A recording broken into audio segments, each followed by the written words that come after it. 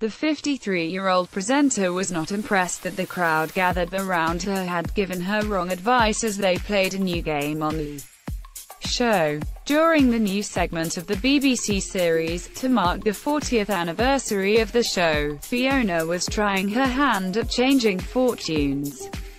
The premise of the game was to guess which of three items had increased in value, decreased, or stayed the same.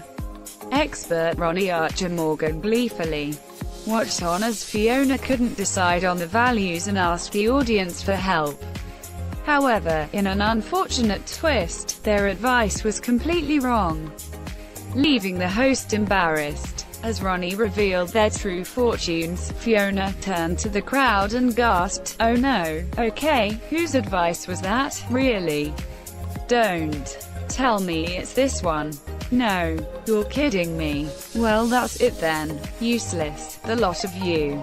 Turning back to Ronnie, Fiona asked, Ronnie, what can I say, as he chuckled, you got them all wrong.